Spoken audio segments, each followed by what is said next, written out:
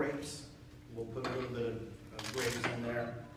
And then what we're doing is we're mixing it with the emulsion. And the emulsion looks like mayonnaise, but it's just whipped egg white and a little bit of lemon juice. Okay? So we just toss all this stuff together, we season it good. Okay, I'm gonna take this one and put it in the back though. So our, our lettuce is, is about three pieces, three or four pieces. Right now, it's a, it's a little cold out there, so we're getting a little bit, a little bit smaller size on our, on our romaine. And it's just a local, local farm that's doing our organic greens. We're plating it up there. Make sure our grapes are there.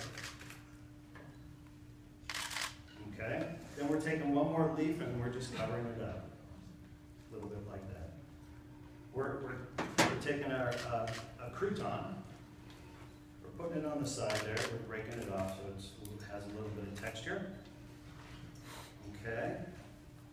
And then we're taking walnut oil, instead of the chopped walnuts for the salad, and we're just drizzling it off. So that's our,